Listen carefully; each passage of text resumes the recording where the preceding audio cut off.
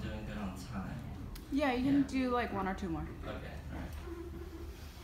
Mm, let's see.